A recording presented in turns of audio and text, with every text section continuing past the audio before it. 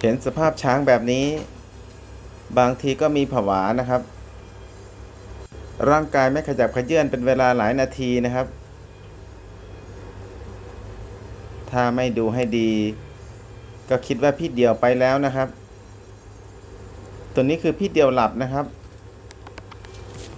แอบมานอนอยู่ในป่า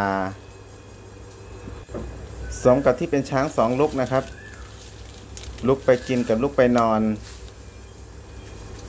นี่ช่างภาพพยายามโฟกัสที่ดวงตานะครับ ให้เห็นว่ายังมีการขยับอยู่บ้าง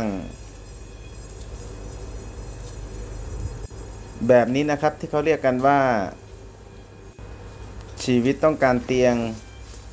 พื้นที่ข้างเคียงต้องการเธอ นี่ขยับหูแล้วนะครับ นอนหลับฝันดีก็สำคัญ ถ้าฝันถึงกันคงจะดีกว่านี้นะครับ การนอนของช้างป่า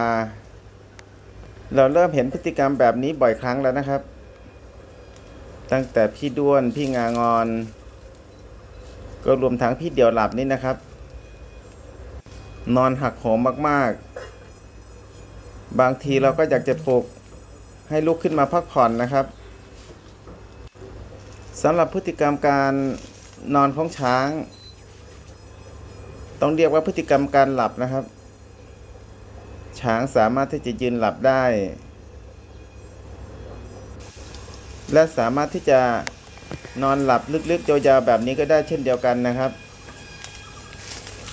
ถ้าช้างรู้สึกว่าปลอดภัย ไม่มีอะไรรบกวนก็จะนอนแบบนี้นะครับ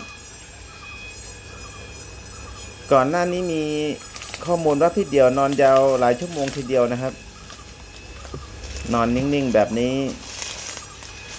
ก็มีแค่ดวงตากับใบหูแบบนี้นะครับ ที่ขยับไปขยับมา ถ้าไม่ดูให้ดีก็คิดว่ามีอะไรไปแล้วนะครับ จุดที่ถ่ายนี่คือแถวผาตอมใจนะครับ หลังจากที่ไปคุยขยะ แล้วก็วิ่งหนีรถพี่ทหาร